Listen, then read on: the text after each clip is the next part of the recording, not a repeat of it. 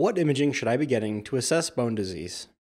I would say it depends on what you're looking for and also at what, at what stage of the disease we're talking about. So in terms of assessing whether you have a lesion or not, uh, MRI uh, is actually much more sensitive to find those lesions uh, in the bone and bone marrow itself. So if you had a MRI that is negative, you do not need a CT scan. Having said that, MRI can be difficult to do uh, in all patients and the whole body.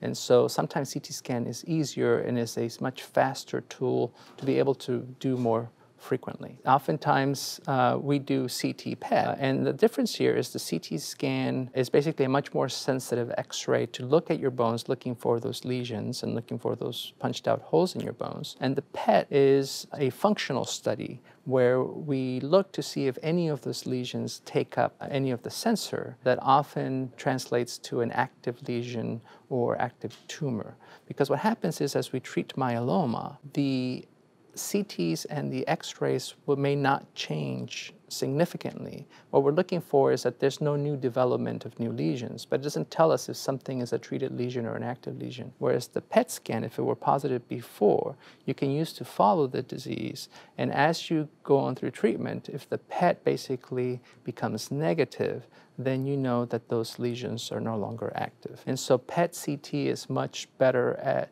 uh, using for following the disease than x-rays, CT without PET, and even MRI.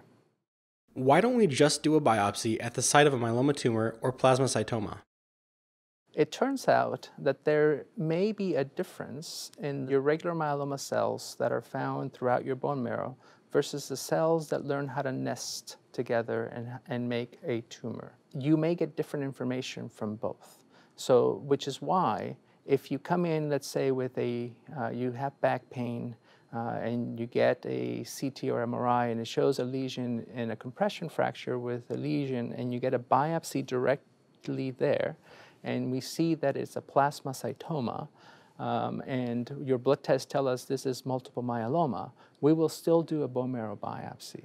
And the reason for that is because you can actually have just an isolated plasmacytoma that may not be full-blown myeloma versus myeloma that should be a much more diffuse disease, but also because you might learn different genetics from the cells that are in your bone marrow blindly versus the ones that make lesions.